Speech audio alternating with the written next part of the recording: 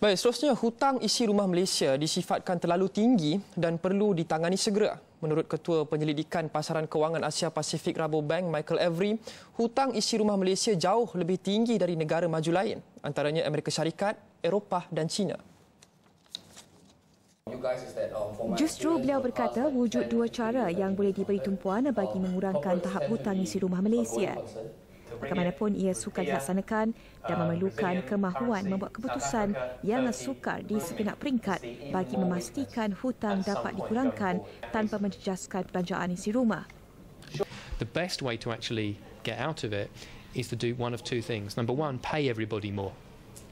If everyone's salary goes up and they spend commensurately less than they were before of that new money, your debt to, to, GDP ratio will gradually go down for the household sector. Unfortunately, that's very hard to do, uh, particularly in the current global environment. The other one, of course, is to export your way out so that the economy grows from money coming in from overseas. Uh, unfortunately, that's very hard to do at the moment for every country, not just Malaysia. So this really underlines why the ringgit has been weakening. Bagaimanapun, Avery berkata hutang kerajaan Malaysia masih rendah jika dibandingkan dengan negara lain di dunia. Tampaknya meskipun kerajaan menetapkan sasaran defisit fiskal tahun ini pada 3.2%, namun kerajaan tidak harus terikat kepada sasaran tersebut.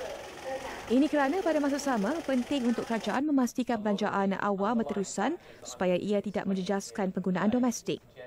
Hutang isi rumah Malaysia berada pada 87.1% berbanding keluaran dalam negara kasar KDNK.